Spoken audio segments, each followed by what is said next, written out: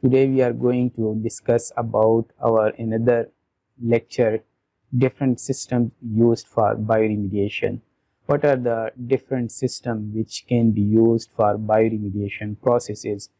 One of the system is microbial bioremediation and the second system is phytoremediation. So what is microbial bioremediation system?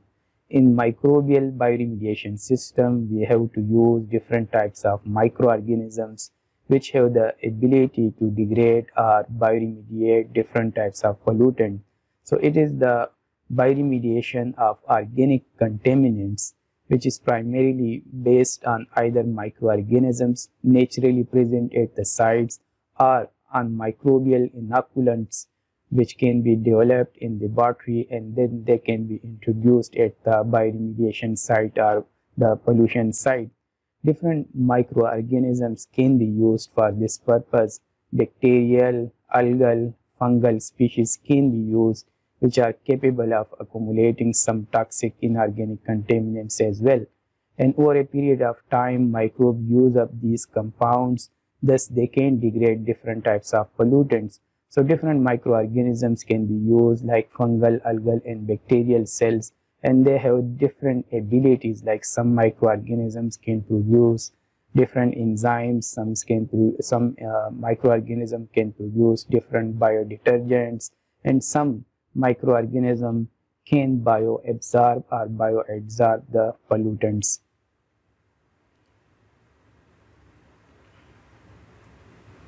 So one of the system is bacterial system. There are different types of bacteria and each strain of bacteria consumes a very limited range of hydrocarbons.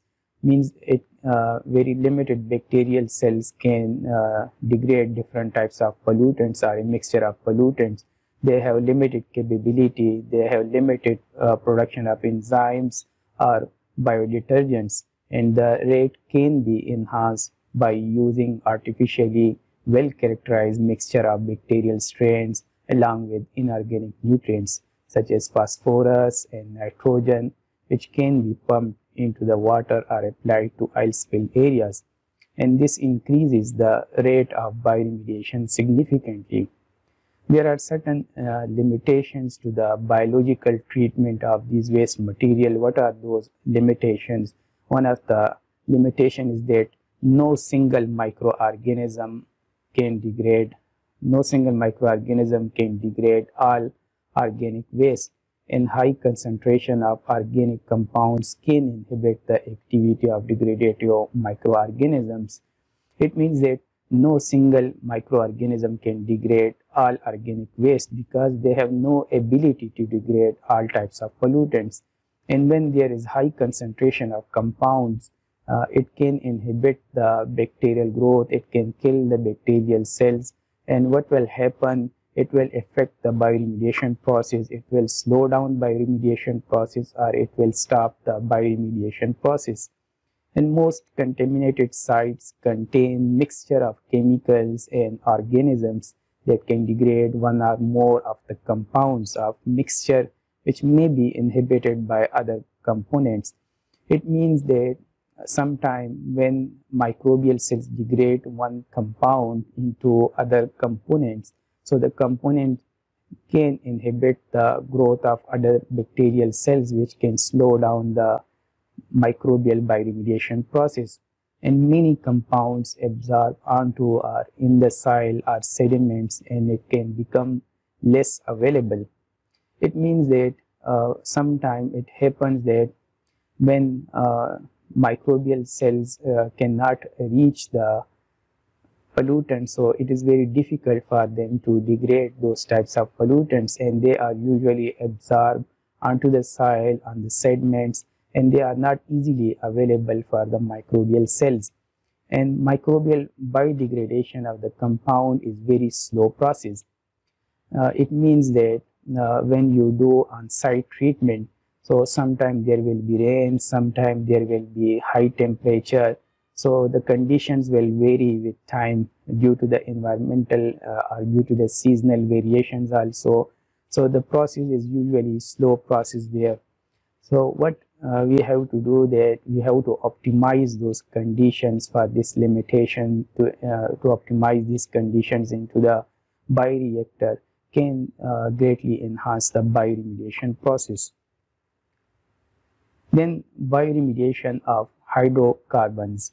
As we know that uh, hydrocarbons are the compounds which contain carbon and hydrogen and petroleum and its products are hydrocarbons.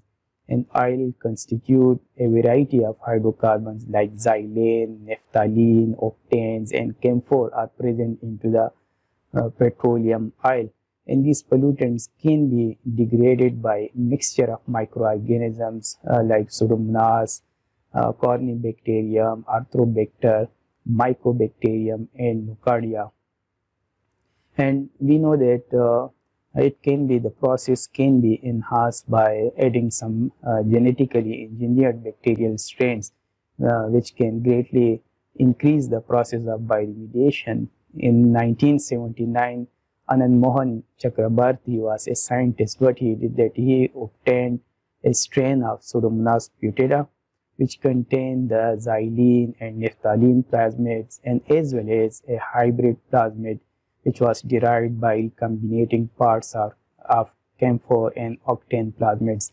Then in 1990s, the USA government allowed him to use the superbug for cleaning up of an oil spill in water of state of Texas and it was produced on a large scale in the laboratory and it was mixed with straw and it was dried and then it was used for further processes. Here is a general mechanism of oil eating microbes that how oil can be degraded by using microbial cells. And as we know that naturally occurring microbes in the ocean can feed on hydrocarbons in the oil and researchers hope that it can be used uh, for different oil spillage areas where warm temperature also aid the reaction. And oil contains hydrocarbons which are made up of varying amounts of carbon and hydrogen. And uh, we can enhance the process by adding oxygen by adding fertilizers also. And when we add fertilizer so it can increase the number of microbes also uh, it acts like it acts like a uh, nutrients and it can increase the growth of other microorganisms also and it can cause algal bloom which can affect the uh, ecosystem or it, it, can affect the photosynthetic activity and the life of other microorganisms and life of the other organisms in ocean also. And uh, we can add some oxygen also uh, but this oxygen can be sparse at, uh, at great ocean depths then um, microbes break apart the hydrocarbons and combine them with oxygen to create water and carbon dioxide. And not all of the oil can be consumed, but what is left over is more easily dispersed by currents and winds. Some fungi can trap metallic ions in aqueous solutions and it is due to their special cell wall composition. In biological material, is called biomass and it is often used as a starting material in industrial processes. There are different fungi which can absorb or bioabsorb different types of pollutants like dye wastewater etc. and many heavy metals etc. And many fermented industries produce some fungal biomass and this fungal biomass can be grown on different bioproducts and then which can be used for this purpose in the biomass of fungus Rhizopus arrhizus can absorb 30 to 130 milligram of cadmium per gram of dry biomass. And one of the example is candida, which can degrade formaldehyde or which can uh, treat uh, wastewater of formaldehyde. And cyanide uh, water can be treated by Gibberella uh, species of fungus. Here uh, you can see diagram of uh, biodecolorization of dye wastewater, uh, you can see the clear difference between the both two and you can see the dye wastewater is treated by fungal strains.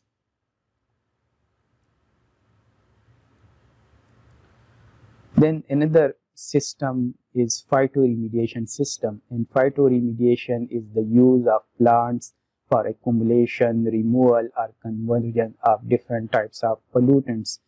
Especially uh, specific plants are collected and selected and they are then grown on different uh, soil, uh, different polluted soil and then they are grown for a particular time period and after that they are harvested and then plants are disposed in a safe way. There are different types of phytoremediation, phytostabilization, phytovolatilization, phytostimulation, phytotransformation and phytoextraction etc.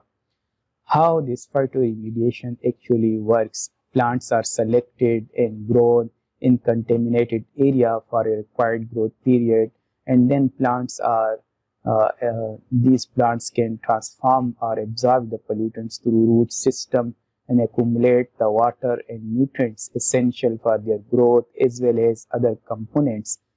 Then plants are harvested in a safe way, they are processed and disposed of in a safe way.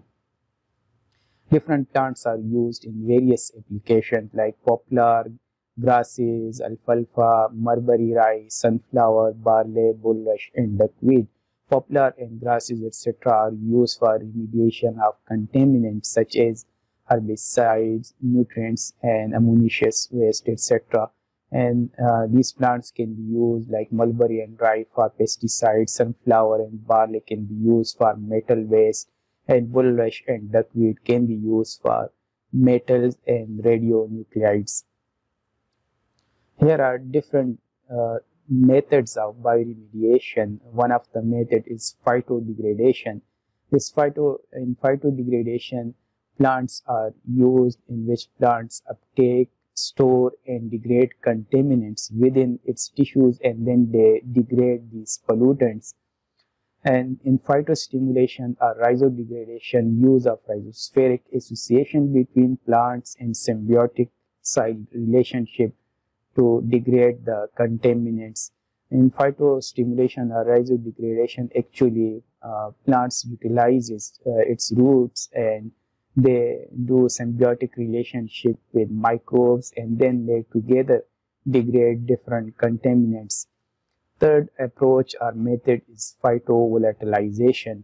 In phytovolatilization, use of plants ability to uptake contaminants, transform it and volatilize contaminants into, uh, into the atmosphere. In phytovolatilization, uh, plant takes uh, different components of the pollutants or pollutants through their root system and then after uh, treatment they volatilize into the atmosphere from their uh, surfaces and phytoextraction. In phytoextraction, uh, different plants are used to absorb, translocate, and store toxic contaminants from soil into their roots and the tissues. This is called phytoextraction. And there is difference between phytodegradation and phytoextraction process. Like in phytodegradation, plant uh, uptake, store, and degrade contaminants, and then they have to uh, degrade those contaminants. However, in phytoextraction, plants uh, absorb, translocate and store toxic contaminants from soil into their roots and the tissues. Another approach or method is phytostabilization. In phytostabilization, plants mediated immobilization or binding of contaminants into the soil. Here you can see in uh, this uh, figure that this is called phytostabilization in which uh, roots uh, uh, it cause the mediated immobilization or binding of contaminants into the soil and they are then not freely available and then they cannot cause toxicity. Here are some benefits of phytoremediation. One of the benefits they are effective and low cost and environment friendly. Another benefit they are soil cleanup of heavy metals and organic compounds and pollutants are absorbed into the roots and thus plants removed could be disposed or burned. Sunflower plants uh, were used to remove cesium from ponds at the Chernobyl nuclear power plant and transgenic plants with exogenous metallothionein and metal binding protein can be used to remove the metals